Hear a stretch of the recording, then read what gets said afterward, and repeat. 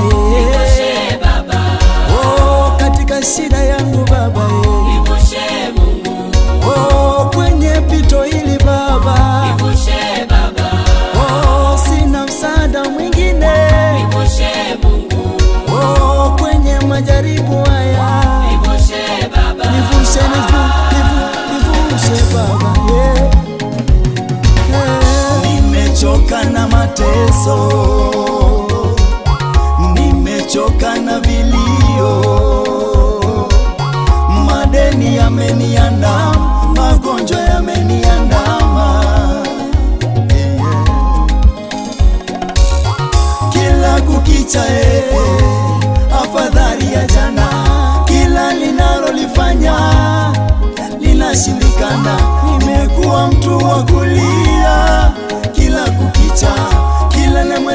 shida zangu eh, ananicheka eh.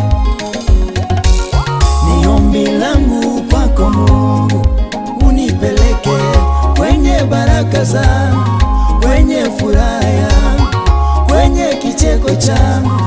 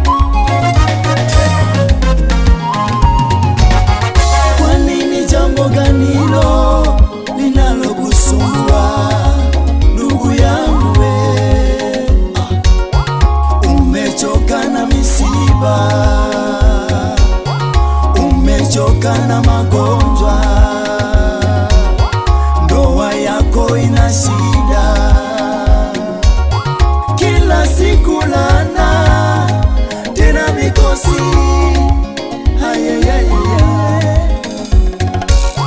Umekuwa mtu wa kulia kila kukicha, kila lomweleza shida zako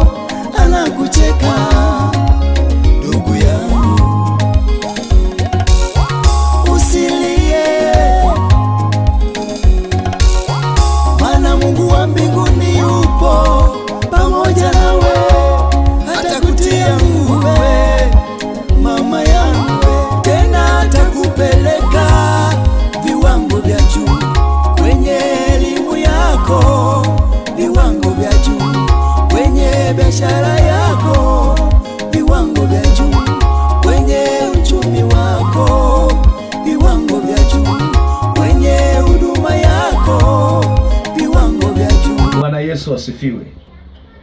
Kabisa, hakuna mtu ambaye duniani hapendi kugushwa.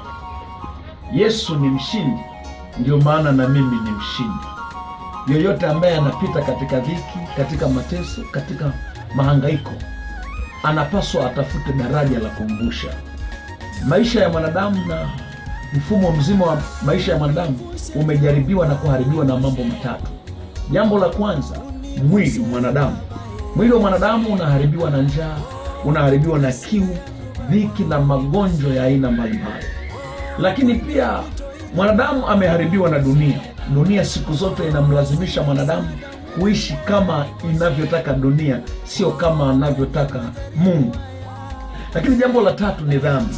Kila kunapokucha afadhali ya jana, kwa sababu dhambi imeharibu kabisa mfumo wa- maisha ya mwanadamu. Ndio maana nimekwambia Yesu ameshinda, ndio maana na mimi ni mshindi. Unahitaji kuvushwa. hakuna jambo lolote ambalo linaweza kumshinda yesu na likasababisha uishi katika mwisho mbaya mawazo ya mungu ni mema siku zote anakuwazia maisha mema anakuwazia baraka anakuwazia kufanikiwa unahitaji kupata mguso maalum mtu yoyote mwenye mpango wa kuvushwa anahitaji atembee sio kwa kuona atembee kwa imani. Imani haitegemei kuona. Pamoja na mazingira ulionayo huna nguo za kuvaa huna chakula unaumwa mtazame yesu aliyeshinda atakuvusha. Bado kuna tumaini. Tumaini lako ni lile moja tu. Ukimwamini yesu kristo atakutoa chini na kupeleka viwango vya juu imeandikwa yesu ni yeye yule jana leo na hata milele. Mwimbaji anasema univushe na kunipeleka viwango vingine. Sijui kama na wewe huhitaji kuvushwa. Ninaitazama kesho yako inang'aa. Kesho yako ni nzuri kulikoni leo yako. Hatua moja tu imebakia ili uende kwenye viwango vya juu. Jipe moyo songa mbele. Mungu yuko kwa ajili yako kwa maana wewe ni mpango halisi wa mungu na mungu anahitaji kukuvusha. Mungu akubariki sana. Karibu endelea kusikiliza wimbo huo ili na wewe uvushwe ubarikiwe. Univushe naomba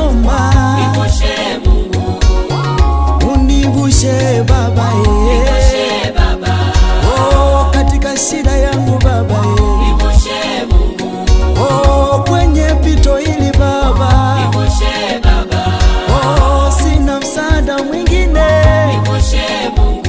oh, kwenye majaribu haya. Nivushe Baba, nivushe nivu, nivu, nivushe baba. Yeah. Yeah.